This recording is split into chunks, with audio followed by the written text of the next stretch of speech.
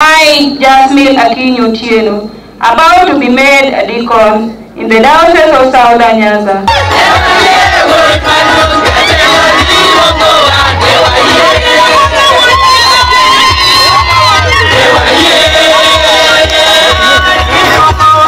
kuom tije ma koro wamiyou mondo ubed jong'ad rieko ne kanisa apenjo kama do you in the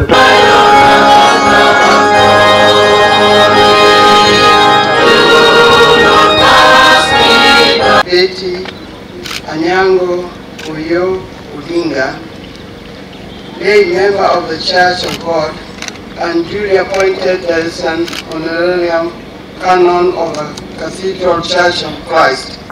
We are very happy to celebrate Mama, but we're also watching what is happening in the country and saying that it is a big lesson to us.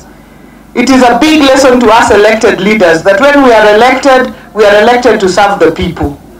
And not just a people of a certain group or a certain language speaking or a certain region. You are elected, if you are elected as a national leader, you are elected to serve everybody and also watch what you say because the people listen to what you say. And what we say as leaders can divide this country or it can reunite this country and put this country together.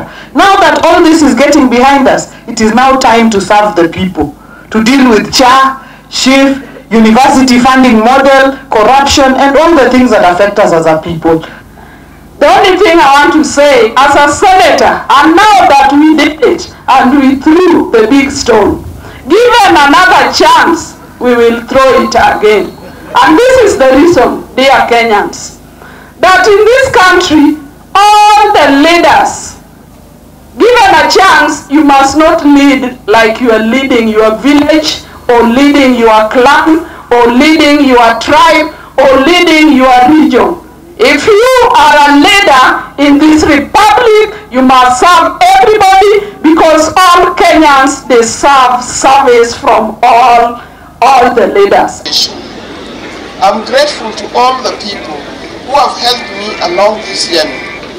These include my family, especially my late mother, Mama Rosa, friends, and other advocates of social change who have stuck by the cause of even, of even when the road was unpaved and the journey was agonizing.